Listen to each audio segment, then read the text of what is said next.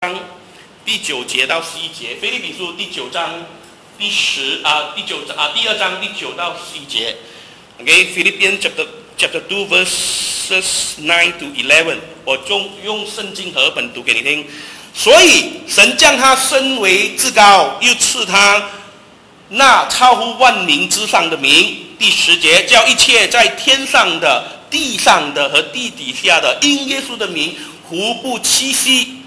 十一节，胡不称口耶呃口称耶稣基督为主，使荣耀归于父神。那我们就会祷告。天父求主，你私下，就就算今天是我们活人的出息，但是我们要你的玛纳，要你喂饱我们，在这个新一年里面，让我们更了解、知道耶稣的名是何等的伟大。我们作为你的儿女，有权利、有权并使用你的名字，让我们在生活里面要做。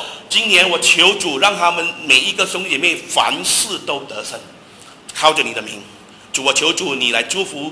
啊，以下的时间祝福你的仆人，让仆人所讲的每一句话都能造就他们。主啊，也赐给他们一个受教的心，打开们属灵眼睛、耳朵，能够听到和领受到你的话语。感谢赞美你，如此祷告，奉耶稣的名，大家讲阿门。那记得上一次上一次的系列，我跟你讲到，在人类的历史当中啊，有一个一个人的名字之所以伟大，有三个条件。第一，因为他。继承了这个名字，比如说一个王子，他继承他的父王的这个继承权，他就变成伟大。第二，为什么一个人会伟大？因为他成就了这个名字，他为了这个名字做了很多的工作，成就了这个名字。第三，为什么一个人的名字伟大？是因为他配得这个名字，还记得吗？如果我叫我女儿叫真美丽，她 make sure 她是真美丽，不能不美丽。不美丽，她就糟糕，这个名字就不配这个名字了。所以，可是啊，主耶稣是恰恰是世界上唯一一个拥有这三个条件的人。这历史上，可能有人说啊，他是因为继承这个名字，他配的这名字有一个条件不了。有些人他做很多的工作，很伟大的事业，成就他的名字，他也有一个而已。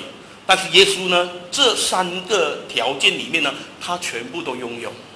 今天我们主耶稣如何成就他的名字呢？我们看第二个，第二个赐予更尊贵的名，如何成就他的名字呢？他到底做了什么东西呢？